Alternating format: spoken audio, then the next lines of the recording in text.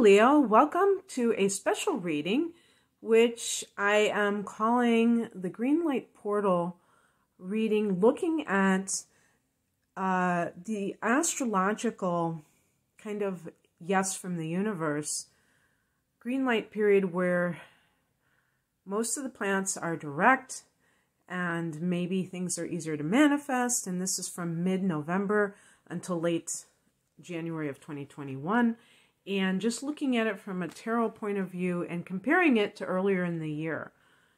So I'm just going to lay out the cards and I will elaborate as I, after I've done this. So I'm picking two cards to represent um, from, you know, uh, before that mid-November period, and and we're gonna also I'm getting the rest of these cards because I'm going to just dole out some cards for the past as well as the upcoming few months.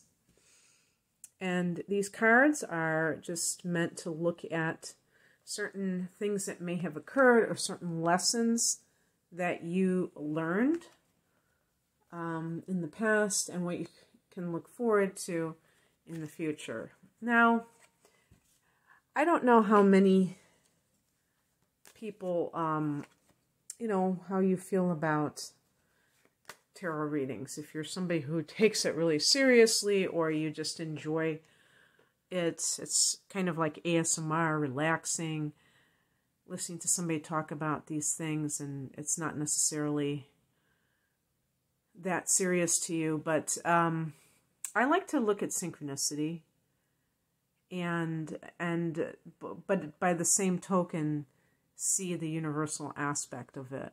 That you can take any cards and kind of mold it into something that is relevant for you. So um what else did i want to say? I think those are the only cards that i pick for this because i created the spread the other day kind of on the fly. Okay so from I think we kind of measure 2020 from March when we began the shutdown. And I'm speaking for myself in the United, in the Midwestern United States. I don't know if all parts of the world um, had you know experienced the same timeline, but you know when I look at something from January and February, I think, wow, you know, little did I know if I'm reading a comment that I made, you know, in that time frame or just anything, I think, wow, little did I know that in a few weeks everything would totally change. So I'm really talking about from March until right now. Well, actually, as I record this, it's early October. And I believe, you know, we have a Mars retrograde. We, we're going to have a Mercury retrograde in mid uh, October that will last until the you know uh, November 3rd and the Mars Mars goes direct around November 13th so that's right before the new moon in Scorpio. So when the new moon in Scorpio hits and I think that's November 15th we're going, going to be going forward, moving forward, and having all the planets direct except for Uranus. And Uranus will go direct in mid January, but Uranus is an outer planet. Um, so the two cards in the middle are kind of the main focus, kind of summing up the influence. And for the past position, Leo, you have the King of Swords. And this indicates somebody that you have you've had to um, maybe become super duper detached about someone or something in your life. And usually, I mean, more times than not, I would think it would be a person. And because Leo is a fire sign, there is passion, emotion that you have, and you also are fixed sign, so you tend to be very uh, steadfast in your devotion to a person. And perhaps this is somebody that has broken your heart over and over again. I have a card, the chariot, that's like Cancer, so I don't know if it's a Cancer person. But I mean, this could even be like uh, mourning the loss of somebody who has passed away. Now, remember, this is the past, so you would know what this loss was. Let me get to that card. This is mourning the loss of someone or something. And um, I could even see like an addiction that you had to just kind of like because I, I, you know, a really great book on alcoholism, if that interests you, is by a woman who has passed away um, years ago, I think, and it's called Drinking a Love Story. So if you're interested, it's a memoir about a woman who I believe she was a writer because she's she's a great writer and I think she was even doing then, but how she got involved in um, addictive drinking and how she, you know, and and the sobering up process. I think she ended up dying of lung cancer or something. I can't remember. But she also had anorexia, and she wrote a book on that, on eating disorders. I think I'd like to read that just because her writing is so good. But yeah, she ended up passing away at a pretty young age. I don't know how old she was. Um, and I could see like, you know, with, if this is like an addiction, it's like mourning the loss of this thing that you used to help you get through life. Um, you know, sometimes they say with the cups it can be alcoholism, for instance, but obviously um, there are all kinds of other things that people use as um, numbing agents or diversionary devices, escapism. Um, this can be, you know, obviously the loss of a person through divorce, through, um, you know, through through death. But the the king can also be the father, and and if the father, if you have realized that your father is never going to give you what you're looking for, that could be a loss that you've had to kind of accept. And what I mean by that is the King of Swords is very emotionally remote. And so if this is somebody in your life and is not a facet of you, Leo, then that, that might have been the hard, the bitter pill to swallow in 2020 is realizing that this person, perhaps they're a narcissist. I often talk about the kings and queens. Sometimes I view them as narcissists because they represent authority figures, and authority figures uh, can become authority figures because they crave power. And this is a worldly way to get power is through being a parent, through being a boss or a supervisor or whatever you want to call it. Um, so you may like you may have um, been in denial over a father who you felt was very um, stingy with praise, maybe was you know quite emotionally distant, but you're always hoping that something would change, and you finally are beginning to mourn the loss of what never will be, uh, because you're you know something may have happened, which kind of sealed the deal and made you realize exactly what this person was like. This could be a partner uh, maybe the father of your child, and or a boss that you try to please and you never succeed. And yeah, so we have the chariot here. So this is a card of success. And this is success in spite of all the distractions going on. But you know, this is a card connected to cancer. So maybe that gives a hint of the person in your life who's a cancer who, you know, um, is this person. Now, that would be kind of interesting because usually cancers are a lot more emotional than a King of Swords type of person. But in any case, um, mourning the loss of the dream that this person could be that, um, you know, perfect spouse, significant other, and they just are not that. Um, you know, sometimes this doesn't mean that you are you have left the person or that you're planning to leave that person. You just might have to reduce your expectations.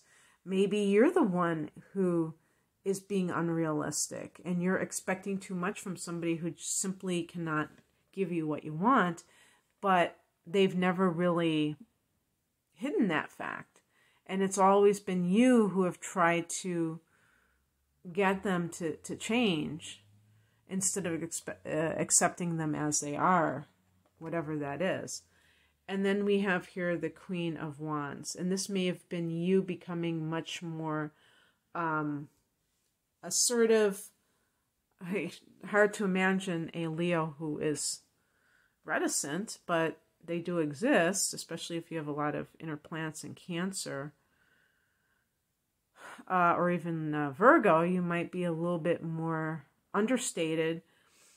Um, and your and your um, moon and your rising sign can be any sign. So you might be Pisces, or you might, you know, be a sign that is more, um, you know, is not as sure of themselves as I associate with Leo. But the bottom line is that success may have shown you that you have what it takes, and that may make you go after what you want that much more instead of being um, insecure about it and and you know kind of second guessing yourself. So let's look at the period that has like a lot of um, forward movement attached to it. The central theme is the Nine of Wands. This is a card of setting boundaries. And um, again, this is not, this is a card that's associated with fire energy being wands. So it's going to carry with it, I don't know if it's associated with a particular fire sign. The three fire signs are Aries, Leo, and Sag. I don't know if it's connected to um, a particular one, um, but um, setting boundaries can mean that you're no longer allowing other people to treat you in a certain way or a specific person to treat you in that way. You're you're making it very clear. It may also be if you have gotten I was going to say gotten rid of a person, that doesn't sound right, but if you have broken up with somebody like the King of Swords, um, you may have kind of like what do they call that? It's it's like rules um as not rules of engagement, but you know what I mean. Just like in the future, you may uh, set some boundaries with a future partner that you are very um, solid uh, about because you may look back on this particular relationship if you have let go of it and or or if that other person may have been the one who walked away and you might say um, these were red flags, and I should have um, been very adamant from day one. And the same applies in the workplace because you can have red flags in the workplace. If you, you know, for instance, I mentioned the chariot card, you know, could be some kind of success. Now, if you have some kind of, you do something on the job that is worthy of praise and you get nothing, you get just crickets, that is a red flag that the person that you're working for has no in, has no intention of kind of like acknowledging you and giving you your due, you know, and that can make it very difficult to feel motivated because, you know, people like to be praised and especially Leos and and that kind of creates a sense of uh, encouragement. I mean, that encouragement creates more of a desire to do uh, good things for, um, you know, to, to achieve things. Uh, when the person feels like they're getting um, acknowledged for their talents and their efforts. Okay, so we're gonna, um, I'm just gonna pick up these three cards. So this might describe the theme for the next, for the, you know, from mid uh, November until late January. One of them is the Five of Pentacles. This is the card that's associated with um, poverty consciousness, sometimes unemployment or uh, money issues. And but it's also the card of maybe like over materialism and not enough um, spiritual, you know, kind of that imbalance between the spiritual and the material. And so you may have to change your attitude about money in order. I mean, what I mean by that is de emphasize it in order to, um, if this is a work matter, in order to really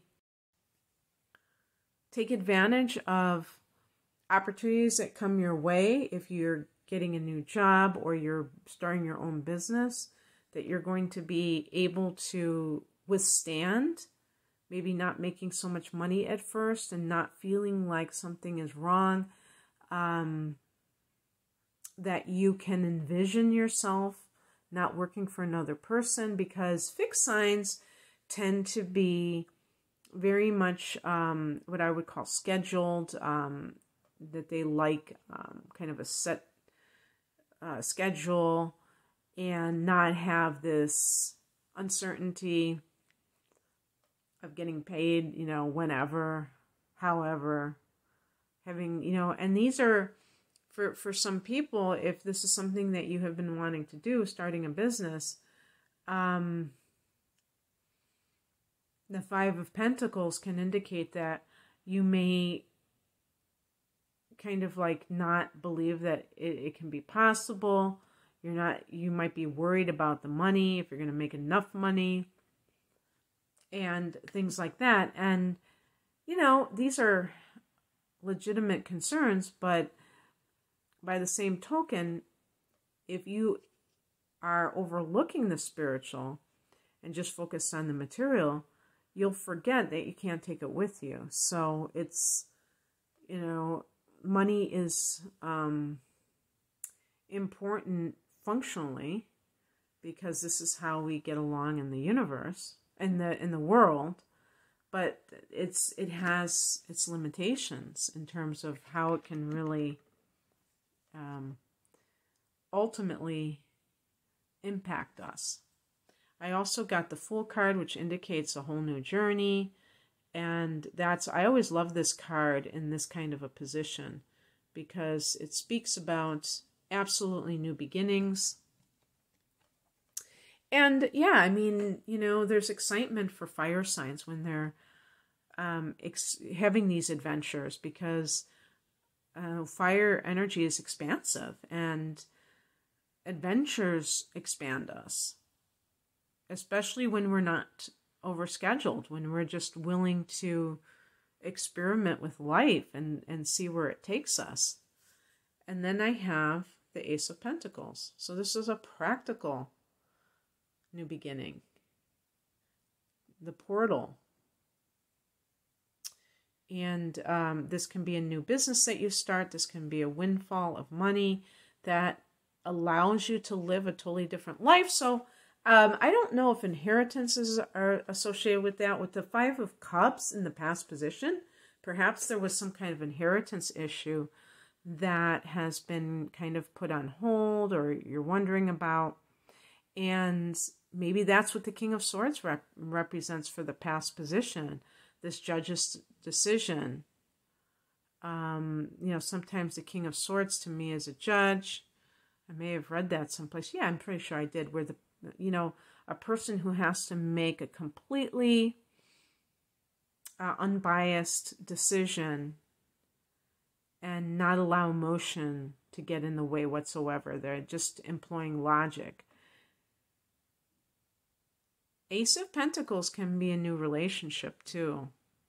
And with the Fool card, it might be with somebody totally different. Actually, the Fool card connects with Uranus, which is the ruler of Aquarius which is your opposite sign. So there you go.